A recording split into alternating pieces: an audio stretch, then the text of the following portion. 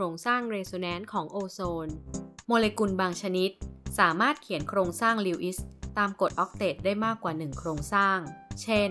โมเลกุลโอโซน มีโครงสร้างลิวอิส2โครงสร้าง ความยาวพันธะคู่ ระหว่างออกซิเจน เท่ากับ 121 พิโกเมตร ในขณะที่พันธะเดี่ยวเท่ากับ 148 พิโกเมตร แต่จากการศึกษาพบว่าความยาวพันธะระหว่างออกซิเจน มีค่าเท่ากับ 128 พิโกเมตร เพียงค่าเดียว ซึ่งเป็นค่าที่อยู่ระหว่างความยาวพันธะเดี่ยว และพันธะคู่ของอะตอมออกซิเจน แสดงว่าพันธะทั้งสองเป็นพันธะชนิดเดียวกัน โดยอิเล็กตรอนคู่ร่วมพันธะ 1 คู่ เคลื่อนย้ายไปมาระหว่างอะตอมทั้ง 3ทำให้เกิดเป็นโครงสร้างผสมระหว่าง 2 โครงสร้าง การเคลื่อนย้ายตำแหน่งของอิเล็กตรอนคู่ร่วมพันธะในโมเลกุล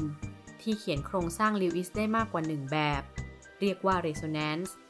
และเรียกโครงสร้างลิวอิสแต่ละแบบว่า โครงสร้าง resonance